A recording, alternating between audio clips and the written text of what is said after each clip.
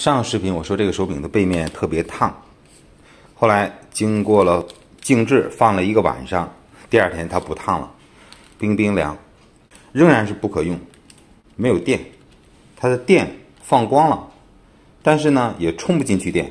我给各位看一下啊，这是索尼的官方充电底座，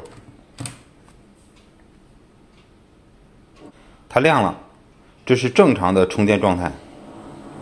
但是我们注意看，它马上就会断电，而且断的非常突然，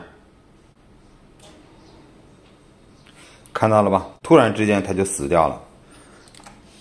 现在的状态是充不进去电，里面也没有电，PS 五不能开机。但是呢，我测了一下，这个手柄按键什么的功能是没问题的，只不过是电源模块出问题了。我们把它插在 PS 五上，嗯，现在可以进系统。这个灯是亮的，左右键都是正常的，但是啊，一旦我把这个线给它拔掉，就不能用了。上次我给大家展示的那个视频里面说它背板特别热，那也是电池的问题。今天呢去送修，送修要带几样东西，因为这个手柄是机器自带的那个手柄嘛，所以说第一个是要发票，纸质机打或者电子的应该都可以。然后呢，就是保卡，然后把它装起来。等什么时候取回来，我再和各位分享。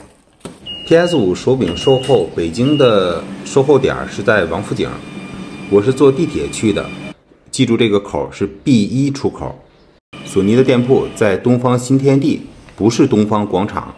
从王府井地铁 B 一口出来，就能看见东方新天地。从东方新天地的西门。进去之后，走不了两步就能看见索尼的店铺，在右手边。这是索尼的卖场，但是里边也包含了售后服务，在一个小过道里。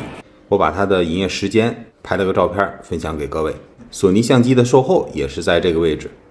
PS 五手柄售后换新需要等五到七天，换回来的这个新的是带包装盒的，但是他们得给拆开拍里面的那个条码。好了，这个追加就分享到这里，希望能帮到你。欢迎关注小白的宝箱，我们下次见。